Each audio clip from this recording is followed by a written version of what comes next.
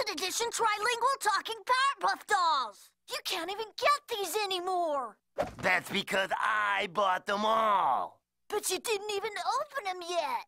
Uh, duh. Hello, Earth to Kid. Toys are not for playing with.